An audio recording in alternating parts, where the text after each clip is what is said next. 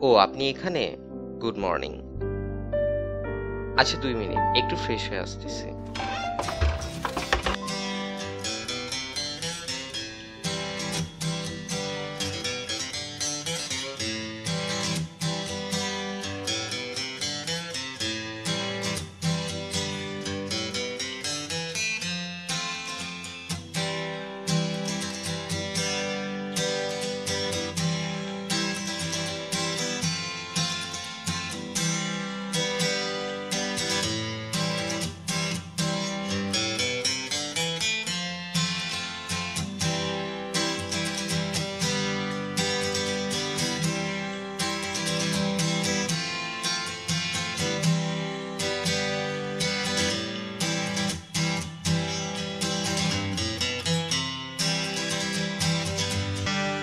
High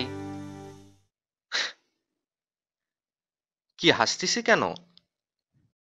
জানেন, গতকাল পর্যন্ত আমি জানতাম না হাসি জিনিসটা কি। আমি প্রায় ভুলতেই বসছিলাম। জানেন, ছোটবেলা থেকে খুব স্বপ্ন ছিল ইঞ্জিনিয়ারিং এ পড়ব।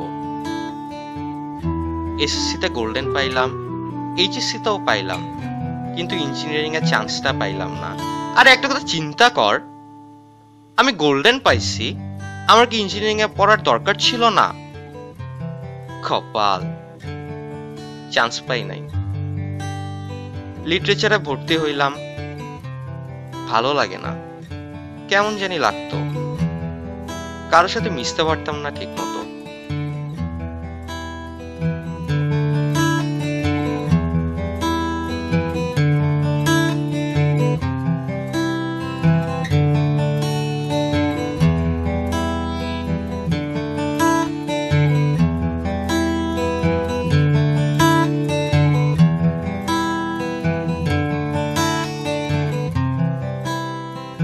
আপনাকে তো মেয়েটার কথা বলাই হলো না। জানেন, এখানে ভর্তি হওয়ার পর একটা মেয়েকে অনেক ভালো লাগছিল।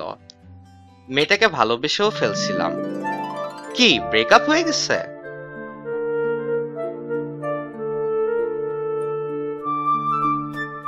প্রপোজ করতে চাইছিলাম, কিন্তু প্রপোজ করার আগে বুঝতে পারলাম তার একটা বয়ফ্রেন্ড আছে। কপাল। চিন্তা করেন কি একটা অবস্থা? আর ওরেই আমার ভালো লাগল, আর কোনো কি মেয়ে নাই? আরেকটা মজার কথা বলি। হোটেলে খাবার খাইতে যাইতাম। যেদিনই যাইতাম, তরকারি নাই। ওয়েটার আমারই শুধু ডিম আর ডাইল আইনা দেয়। একদিন, দুই দিন, প্রতিটা দিন সেই একই অবস্থা, শুধু ডিম আর ডাল। একদিন তাড়াতাড়ি গেলাম, ভাবলাম আজকে মনে হয় তরকারি পাওয়া যাবে। গিয়ে দেখি সেই একই কাহিনী মা বলে, মামা, মাছ মাংস তো এখনও রান্না হয়নি। আপনি ডিমার ডাল দিয়েই খান। চিন্তা করেন, কি একটা অবস্থার মধ্যে ছিলাম আমি। মনে হতো আমার জীবনে এত হতাশা কেন? কিন্তু জানেন গতকালকে কি হয়েছে? ছোট্ট একটা ছেলে, সে আমার কাছে আসলো। ভাত খাবে বলে দু টাকা চাইলো।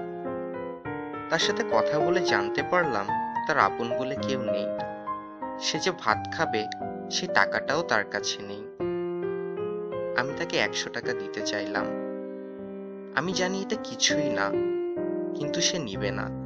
তার জয়ী দু টাকাটাই চাই। আমি বুঝতে পারলাম, সে ততটুকুতেই খুশি যেটাতে তার দিন চলে যায়। সে আবার ফিরে আসলো, শুধু আমাকে খুশি করতে।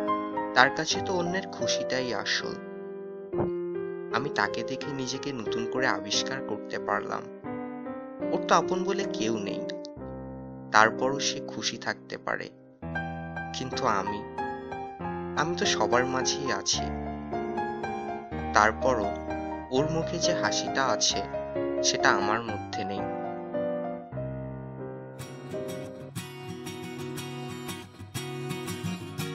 সো এখানে তো হতাশার কিছু নাই।